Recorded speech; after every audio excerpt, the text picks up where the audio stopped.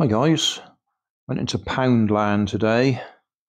Uh, somebody had told me they'd got some solar powered uh, projector light things for Halloween.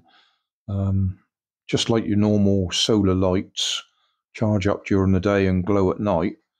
But apparently they were set up so they'd actually project um, a skull or a um, pumpkin face or something onto a wall.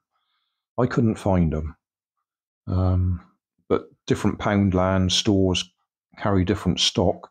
So I will try some other Poundland stores and have another look.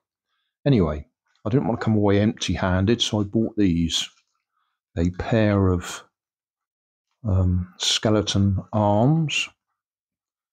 And I thought I would make them into a rubber band powered car, of course.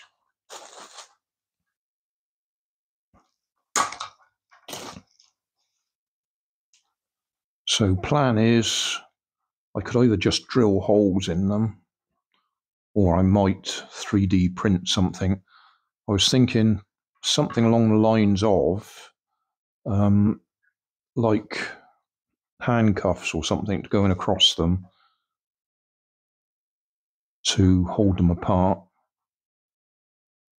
and uh, the usual CDs for wheels.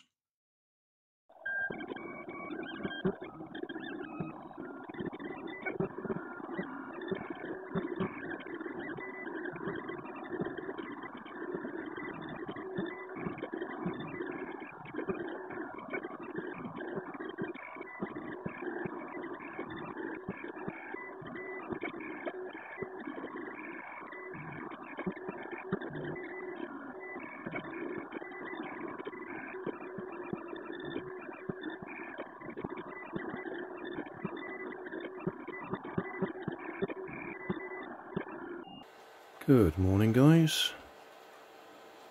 Another rubber band powered car.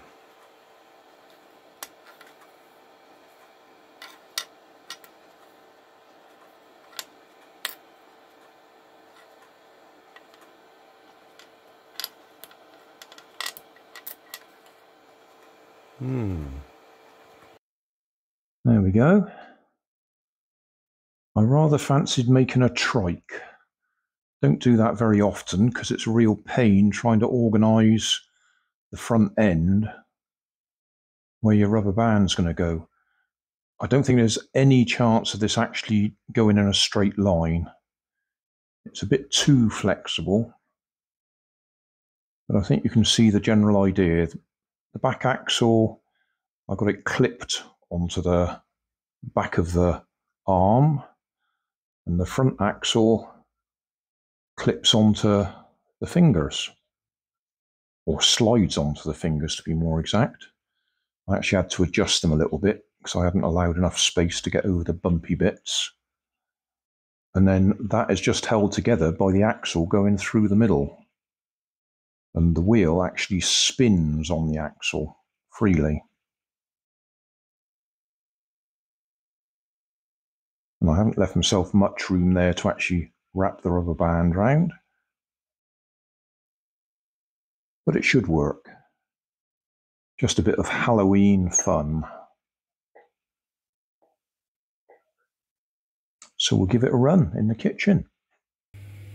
I don't think there's slightest chance of me actually hitting the camera, getting a straight enough run to do that. But that is what we'll do. We'll put the camera down at this end of the kitchen I'll go up the other end and aim for the camera.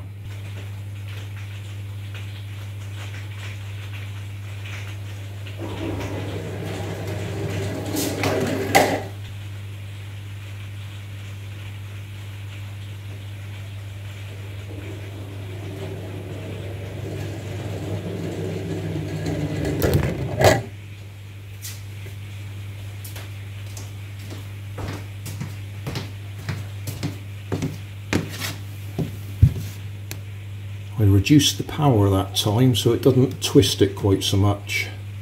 And we got a nearly straight run.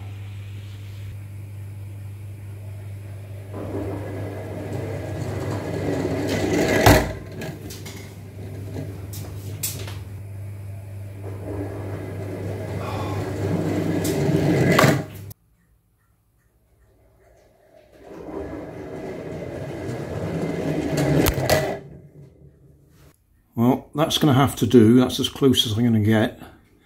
Every time it hits the wall, it distorts because all these bits are loose so I can adjust them.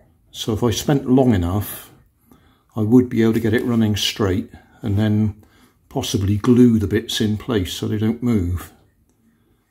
But it works. A bit of fun.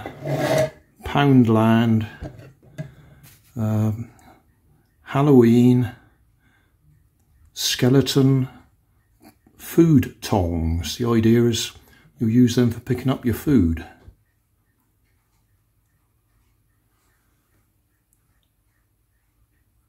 Job done.